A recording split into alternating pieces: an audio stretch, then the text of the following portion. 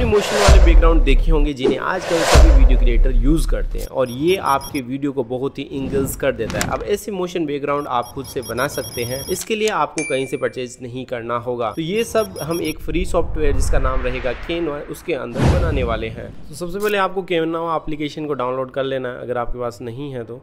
और इसके अंदर आपको अकाउंट बना लेना है, अगर नहीं है तो। अकाउंट बनाने के बाद में आपको यहाँ पे कस्टम साइज़ वाले पे क्लिक करना है। और यहाँ से अपना रेशियो सेलेक्ट करना है, जिसके अंदर विफ्थ के अंदर आपको यहाँ पे 1080 एंड हाइट के अंदर 90 20 पे करके क्रिएट न्यू डिज़ाइन पे क्लिक कर देना। इसके बाद में आपके सामने एक ब्लैंक प्रोजेक्ट आ जाता है, जिसके अंदर अपन को सारा एक काम करना है और इस साइड में आपको सारे टूल्स नज़र आ रहे होंगे, जिनका अपन को यूज़ करना है। तो सबसे पहले आपको एलिमेंट्स पे क्लिक करना है। एलिमेंट्स पे क्लिक करने के बाद नीचे आना है, थोड़ा सा स्क्रॉल करना और यहाँ पे एक ग्रिड का ऑप्शन मिलेगा। इस ग्रिड को आपको यहाँ से ड्रैग एंड ड्रॉप कर देना है। जैसे करेंगे, इस पर एक इस तरीके की फ्रेम आ जाएगी।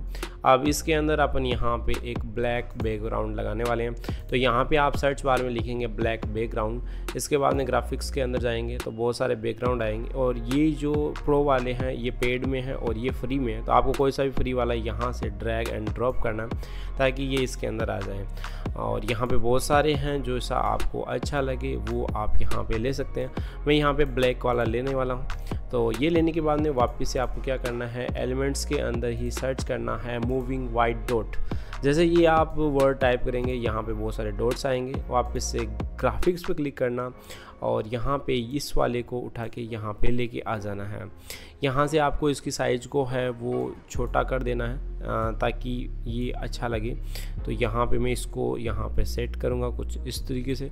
यहाँ से आपको कुछ इस तरीके से इसको सेट कर लेना। इसके साइज़ को आप छोटा भी रख सकते हैं, बड़ा भी रख सकते हैं। इसके बाद में इसको पूरे के अंदर फिल करना है। तो इसके लिए अपन क्या करेंगे, यहाँ पर एक प्लस डुप्लीकेट का ऑप्शन नज़र आ रहा है। क्लिक कीजिएगा। जैसे करेंगे, ये यहाँ पे बन के आ जाएगा। इसी तरीके से आपको ये बहुत सारे बना लेने हैं। इनको सबको सेट करना है। तो यहाँ से कुछ इस तरीके से आप जितने भी ये अपने पास ब्लैक प्रोजेक्ट है, इसके अंदर पूरे के पूरे इस तरीके से कॉपी करेंगे। ओके सारे कॉपी करने के बाद में अब आपको क्या करना है? इस वाले पे क्लिक करके यहाँ पे एक लॉक का पॉप है, इसको लॉक कर दीजिएगा। इसके बाद में जो इसकी थोड़ी सी साइज़ अपन डिक्रीज़ कर देते हैं और यहाँ से इसको सारों को सिलेक्ट करना है तो यहाँ से सारों को सिलेक्ट करने के लिए कुछ इस तरीके से सिलेक्ट करेंगे और यहाँ पर आपको इसको अनलॉक करेंगे। और यहाँ पे ग्रुप को डुप्लिकेट करेंगे। जैसे डुप्लिकेट करेंगे, कुछ इस तरीके से ये नज़र आएगा। तो आपको इसको यहाँ से सेट करना है अपने अकॉर्डिंग तो मैं इसको यहाँ सेट कर देता हूँ कुछ इस तरीके से और देखता हूँ कैसा लग रहा है। तो यहाँ पे सही से सेट नहीं हुआ है। सो मैं इसको एक बार के लिए वापस से अंडू करूँगा और सिलेक्ट करके डुप्लीकेट करके इसको यहाँ पे कुछ इस तरीके सेट करूँगा। थोड़ा सा ऊपर है। ओके। वापस से डुप्लीकेट लेयर बनाऊँगा, आगे सेट करूँगा, एक डुप्लीकेट और बनाऊँगा, और सेट करूँगा, और एक डुप्लीकेट और बना दूँगा, कुछ इस तरीके से। अब क्या करना होगा? आपको वापस से एक डुप्लीकेट बनाने कुछ इस तरीके से। जैसे डुप्लीकेट बन जाती है, उसको आपको सेट करना है, कुछ इस तरीके से। इसका एक और डुप्लीकेट बना देंगे। और उस डुप्लीकेट को यहाँ पे सेट करेंगे। अब यहाँ पे अपने पास एक बैकग्राउंड जैसा मोशन बैकग्राउंड तैयार हो गया है। इसको आप यहाँ पे डाउनलोड कर लेंगे। डाउनलोड करने के लिए ये अपने पास वीडियो है, वो 6.5 सेकंड्स का है, कुछ इस तरीके का, ठीक है?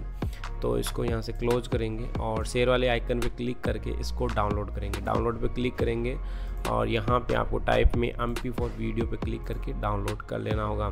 सो यहाँ पे ये डाउनलोड हो जाता है कुछ इस तरीके से। ये जब तक डाउनलोड होता है, इसके अंदर अपन एक करेक्शन और कर सकते हैं। अगर अपन इसको दूसरा और बनाना चाहते हैं तो यहाँ पे आप लिखेंगे वाइट फोग लिख देंगे, या फिर वाइट ब्लर ये करके सर्च करेंगे तो बहुत सारे ब्लर ब्लर आ जाएँगे, जिसको अपन यहाँ पे सेट कर सकते हैं।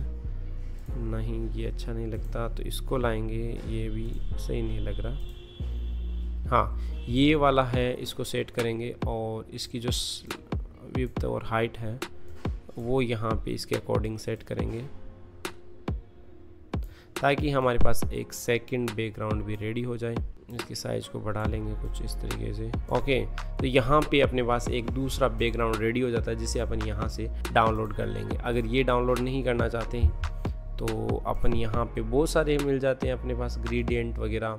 अपन इसको अलग अलग इसको इस तरीके से भी क्रिएट कर सकते हैं। जैसे आपकी इच्छा है, यहाँ पे बहुत सारे एलिमेंट्स मिलते हैं, जिसकी हेल्प से आप अच्छे अच्छे मूविंग बैकग्राउंड क्रिएट कर सकते हैं कुछ इस तरीके से।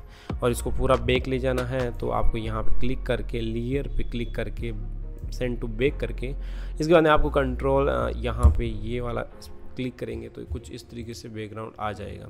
तो इसको भी डाउनलोड कर लेंगे और बहुत सारे बैकग्राउंड अपन खुद से क्रिएट कर सकते हैं। तो आई होप ये वीडियो आपको बहुत ही अच्छा लगा होगा और इस वीडियो को आप यूज़ ले सकते हैं अपने किसी भी रील्स के अंदर शॉर्ट्स के अंदर या यूट्यूब वीडियो के अंदर भी। Thank you for watching this video मिलते हैं नेक्स्ट वीडियो में।